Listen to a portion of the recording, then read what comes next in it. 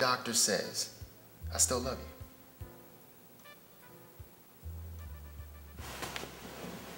What? So what did the doctor say? So you, you, I'm good. That, that's great. Baby's gonna be, oh, I love you too. Me and you. I mean, we're gonna do like, like my grandfather used to do, you know, gonna start a family, get a house out in a, in a cottage. Yeah, you and me. Yeah, it's gonna be all right. You and me against the world, baby. Huh? I love you. Bye-bye. You going to what?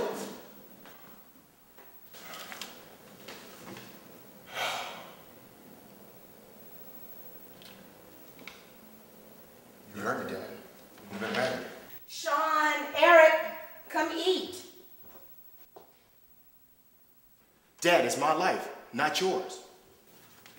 15 years old, you don't have a life.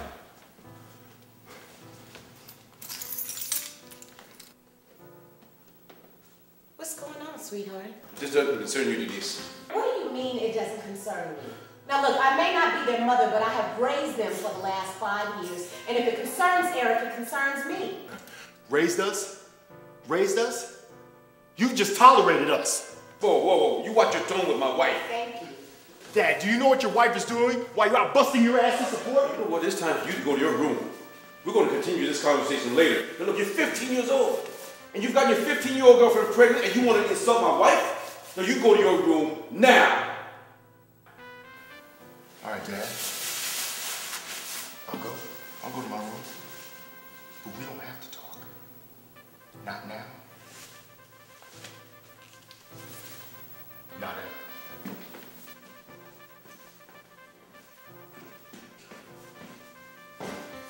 He is so disrespectful. Hell, I'm out of here. Hey, where you going? I'm out of here, Dad. I said go to your room. I said, Get back in here! head. No, Dad, go on. Hey, come out here, boy. Sean, calm. So, Denise,